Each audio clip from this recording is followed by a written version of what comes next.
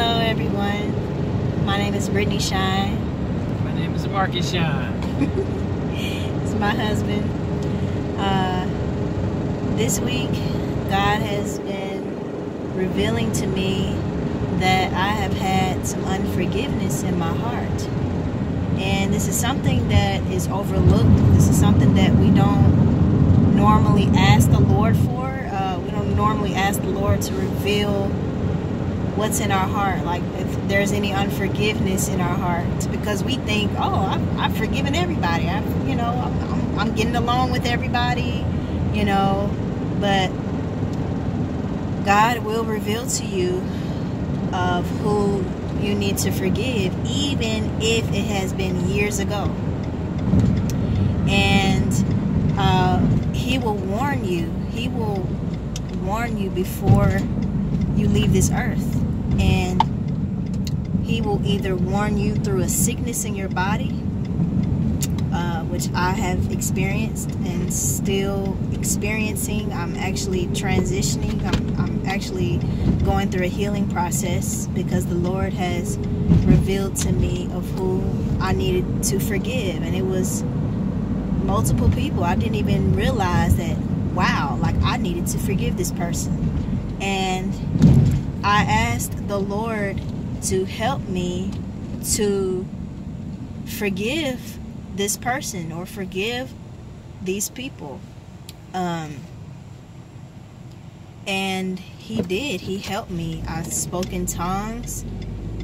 The, the Holy Spirit was was was speaking through me and I was able to release all of that burden that was from me and I kept experiencing pain under my arms, um, kept experiencing just different kinds of illness in my body. And um, I was asking the Lord, like, Lord, what is, is it because I've sinned? Like, what is going on? Why am I experiencing this in my body? That's when the Holy Spirit asked my husband to ask me, Have I forgiven the doctors? Have I forgiven the doctors um, that I used to go to? I used to go to the doctor, and I, for a long time, I have not trusted doctors because I used to take a steroid shot, and the steroid shot has messed up my body. And for a long time, I did not want to go to the doctors. I didn't want to fool with doctors. I've even had um, an evil dream about a doctor. So that made me definitely not want to go to any doctors. But the Lord asked me to forgive the doctors and that was the first the the first type of people that I had to forgive. so there were individual people and there was also like uh, you know certain groups of people or, or certain type of people. And I don't even know who the doctor is. Like I, I wouldn't I wouldn't even know what he looked like to this day. But I just remembered what happened but I I gave it to the Lord and I forgave the doctors. And I cried. oh, and our son Benny is back here too. so, yes, yeah, so I just wanted to encourage you all if you are dealing with unforgiveness or even if you don't know if you're dealing with unforgiveness, Give it to the Lord. Ask the Lord to search your heart because the Bible says if we do not forgive men their trespasses, God will not forgive us our trespasses. But if we do forgive men their trespasses, God will forgive us. He will forgive our trespasses.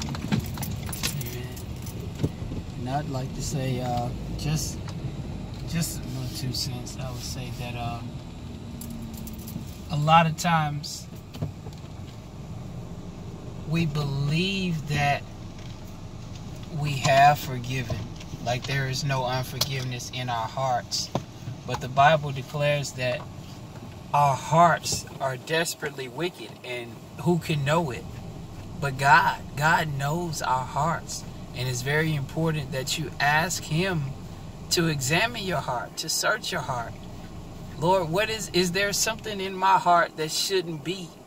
Um, because believe it or not, it is. There's always something that shouldn't be.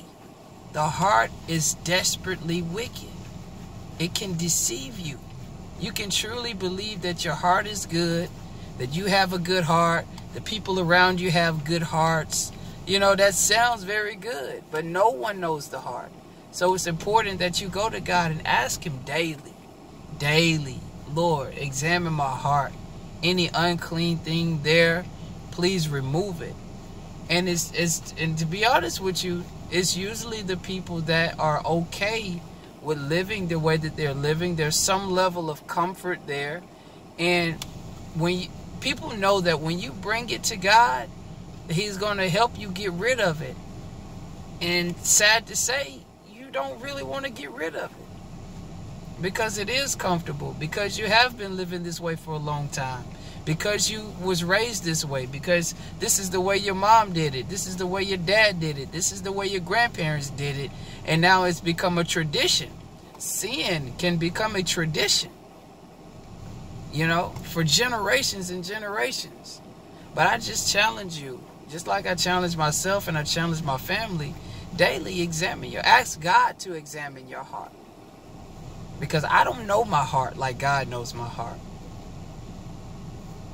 So, I mean, that's what I would say if you if you are dealing with a certain type of illness, it's not always uh, the fact that you have sin, but a majority of the time there is a sin that you are unaware of or that you are aware of. And if you're tired of dealing with the issues um, that comes with that, you know, ask God, take it before God. And people say, you know, I gave it to God. Um, I want you to really question yourself and ask yourself, what does that mean? What does it mean I gave it to God? Submit it to God. Give it to Him. The Bible says, submit to God, resist the devil, and he will flee. The first step is submitting.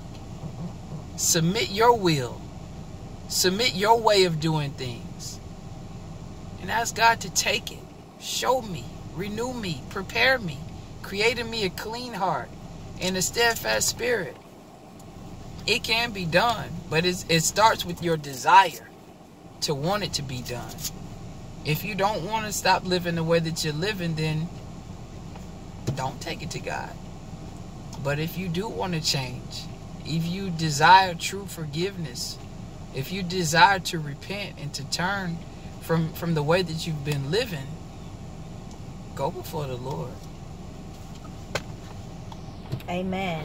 And submitting to God, resisting the devil, I that's exactly what I had to do. I submitted it unto the Lord and then Satan was trying to repeat it in my head. He was trying to repeat the matter over and over in my head, and I rebuked it. I said, I come against this thought in the name of Jesus. I cast down this thought in the name of Jesus. I forgive this person. You will not hold me in bondage in the name of Jesus. And that's what you have to do. When the devil tries to repeat that over and over in your head, you've already forgiven that person. Cast it down. Cast it down in the name of Jesus. So thank you all for listening. Uh, and we will talk to you all again soon. Love you all. Peace.